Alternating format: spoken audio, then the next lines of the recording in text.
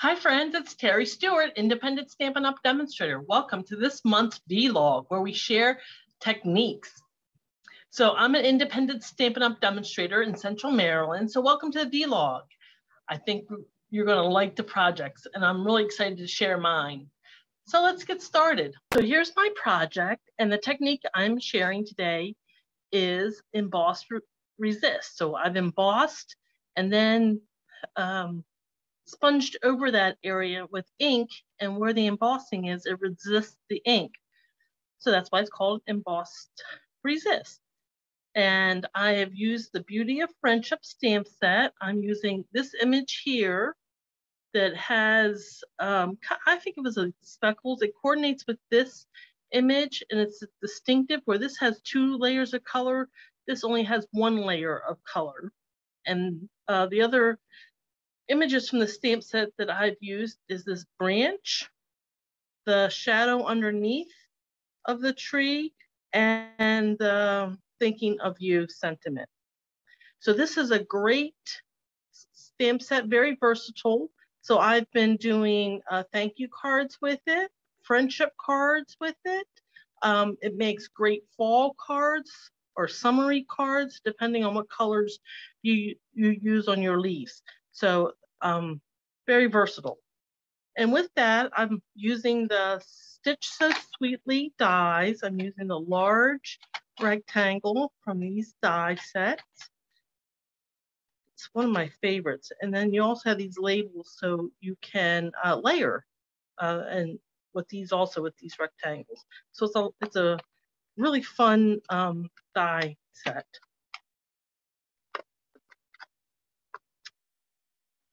So let's get started with some um, cutting. Here is my cutter, paper trimmer. I'm going to score my paper along the short side at the halfway mark. Score. And I'm to rotate my paper and cut it in half on the long side. And so for us in Imperial, I've uh, scored at four and a quarter, and I'm rotating it to cut at five and a half. For our metric friends, you would score at 10 and a half and cut at 14.9. Here I've cut for Imperial at five and a half. This is our card base. And then for our very vanilla, I'm going to cut it on four inches. Actually, I'm going to cut it at five and a quarter on the long side. And that would be 14.4 for our metric. And I'm going to cut it then at four inches. And that is 10 inches uh, for our metric. And then I'm gonna save this piece uh, for some die cutting. All the measurements, you can check out my blog at stampinghairblogspot.com for all the measurements for this project, or in the description below, there'll be a link to that blog and to the other participants in this vlog hop. So let's cut out, oh, one more thing we have to cut out bring my cutter back in, the paper trimmer, is the next piece. The base, I've used the In Good Taste DSP. I love this paper stack. It has so many textures. There's wood elements, tile elements, um, like tweed, and um, I guess it's almost like a sweater element, more tile, tweed, wood. It all in various colors. There's um, blushing bride, gray granite, early espresso. Just uh, here's some more tile. I just really love this. I can't say enough about this paper. So I'm going to use this tweed element and I'm going to cut it at four inches. And because this is 12 by 12, a four inch cut uh, is an economical cut.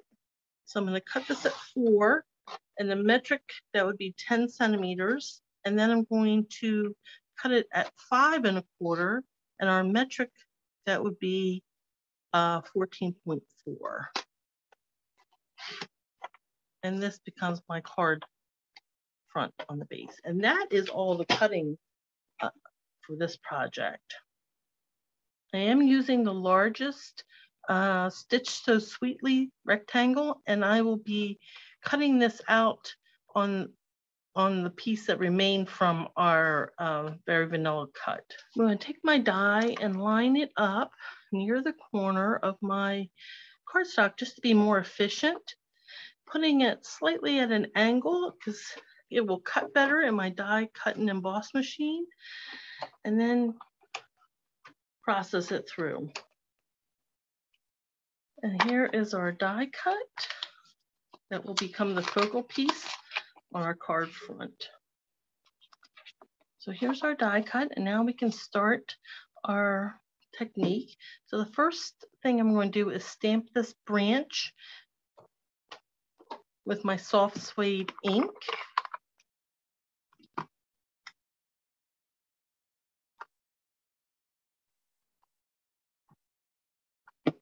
And I'm going to stamp it a little in the center.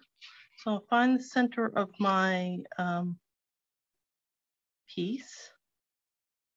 And then using my guideline on my grid and the grid on the top, I'm gonna stamp it so it has um, maybe just a little bit in the bottom room for the shadow stamp. So here we are with our soft suede ink. And then using my gray granite ink pad and the shadow stamp from the Beauty of Friendship. The stamp that's just below the stem, a trunk of the tree. Uh, so somewhat uh, of a shadow.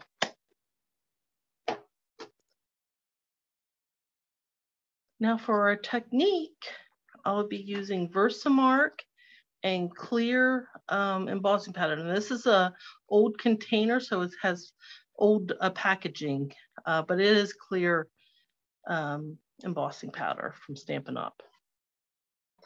So I'm gonna bring in a piece of scrap paper. And here is my um, tree with the dapples in it. So it is not the distinctive part of the of the stamp. I'm gonna ink this up really well with Versamark. And then I'm going to stamp over top of my branches and I'm trying to uh, center the branches within this stamp. So there I have my Versamark and I know you won't be able to see it because it is a clear ink. Uh, you really can't see it. But once I put my embossing powder on top of it, it will adhere to where that Versamark ink is. And the Versamark, um, the Versamark ink is a thick ink. It's a pigment type of pigment ink, so it doesn't uh, evaporate quickly. So you have a few moments to work with it. So I think you can see the powder where the Versamark is. And now I put the clear embossing powder on top of that. And working with my scrap paper, I can put the excess back into the container. It goes a very long way. And now I'll be using a clothespin to hold my image while I bring in my heat tool. I'm going to heat it until the powder melts and becomes shiny. And that's when I know that um, the embossing is complete.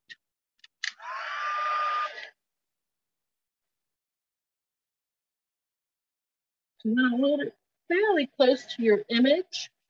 And it, uh, so you can see when the powder melts and becomes shiny. And then I'll move on to the next area. And I'll keep moving my heat gun over the powder until I it all melts and I see that it's shiny. And you just want to do it till it's shiny. You don't want to overheat it because it will burn and flake off.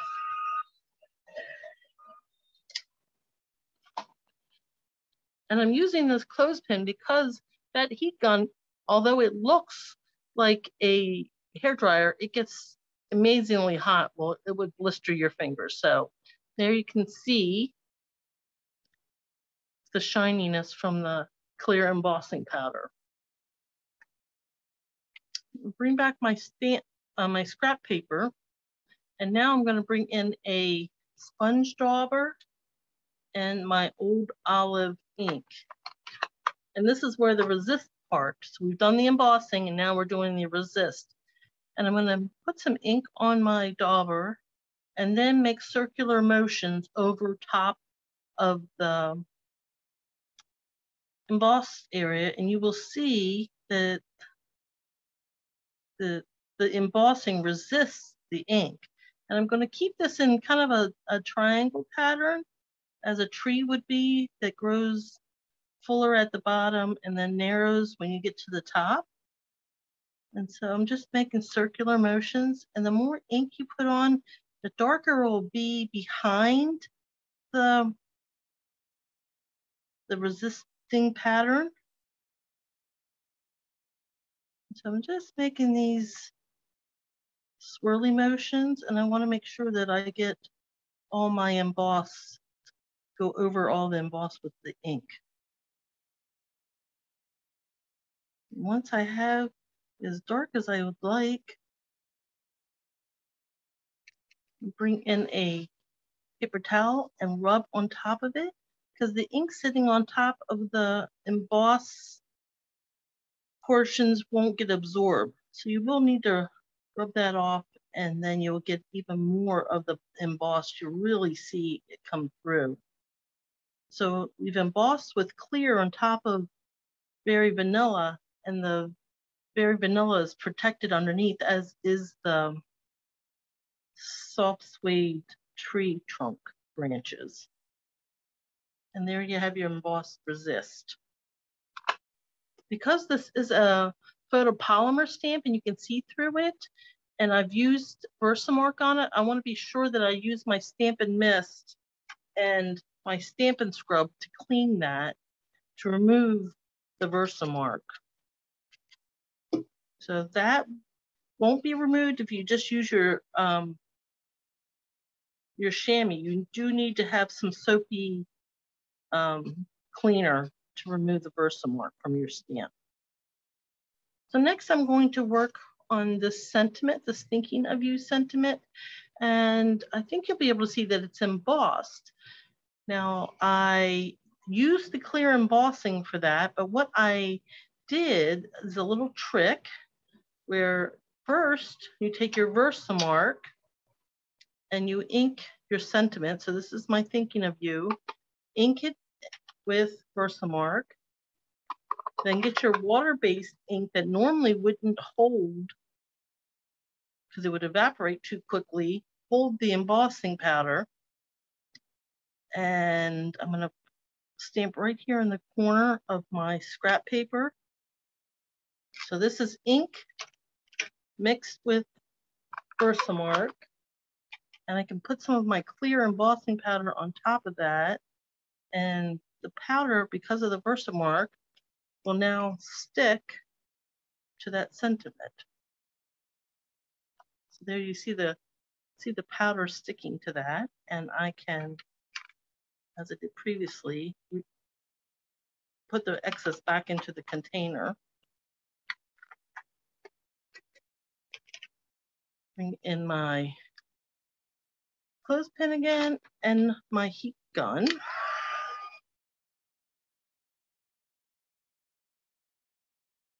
And I'll heat this until the embossing powder melts.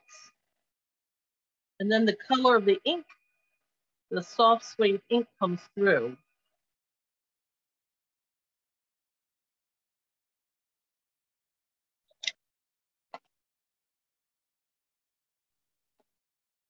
Now you can see, I think you can see how, how the clear embossing powder looks on top of that ink. I'm going to uh, use my snips and snip this sentiment out. And then once again, because I had Versamark on my photopolymer, I'm going to clean that out, clean it up with some stamping mist to remove the Versamark. So on the inside of my card, I've done a, a little bit of decoration. This time with just ink, so I'll be using my Very Vanilla piece. So with my soft suede, I'm gonna ink up my tree trunk and stamp about halfway on the left-hand bottom.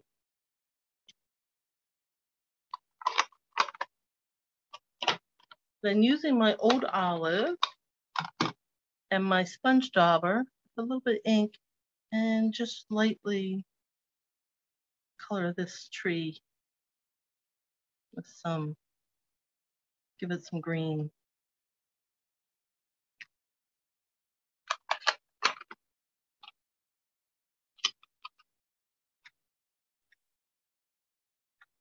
Now we're ready to assemble our card. I'm taking my card base and using my bone folder to, to enforce that score line. I'm gonna put a piece of DSP from In Good Taste. And you can see the back of this looks fabulous too. That um, paper stack has so many awesome patterns in it. I think it's very versatile uh, because of the patterns and textures. And this will leave a small border all around my card base.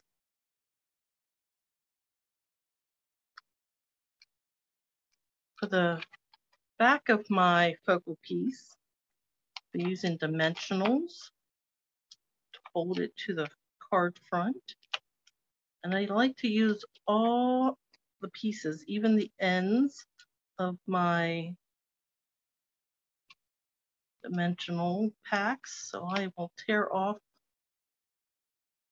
the pieces from the edge and use them. Remove all these backings.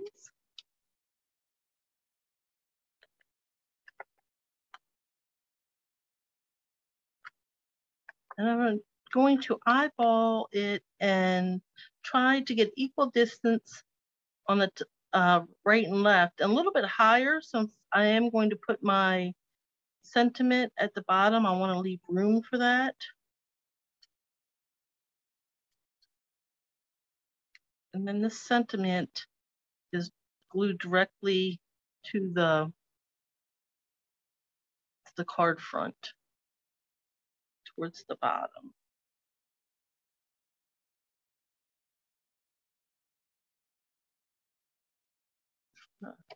Then do my inside piece. And I have on purpose not uh, used any words on this so I can personalize uh, a greeting when I sent it or send a personalized note.